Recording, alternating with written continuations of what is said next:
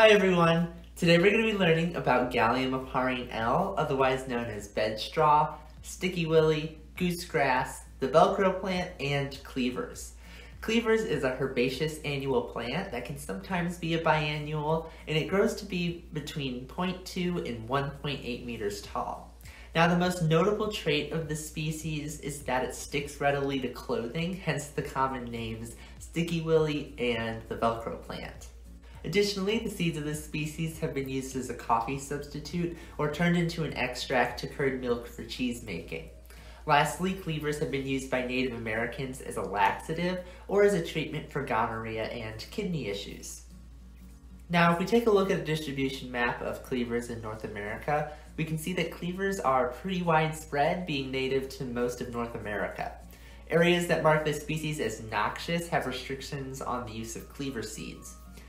I'll mention that in many areas, depending on the habitat, cleavers can become a bit weedy.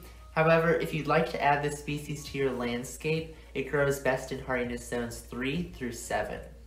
Alright, when it comes to cleaver's natural environment, they can survive in a lot of different places, especially those that are shady and moist. Examples of habitats that cleavers can be found in include forests, floodplains, and prairies. This species pops up a lot in disturbed areas and is found quite often in grains and crops grown in nurseries. Now here we have a bunch of cleavers growing right next to each other, and this is typically how you'd see them growing. But if we zoom into the stem and leaves, we'll see that the stem is a gangly, square-shaped one with little bristles that help the plant grab onto things.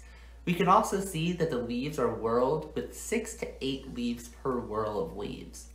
Now each leaf is sessile, simple, entire, lance-shaped, and is covered in tiny bristles.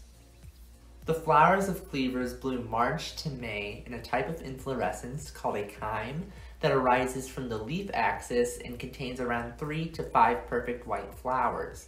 Each flower is very small and contains 4 petals, 4 stamen, and 1 pistil. These flowers are mostly self-pollinated, but they can be cross-pollinated, and when they are, they'll typically be pollinated by bees, ants, flies, small wasps, and beetles.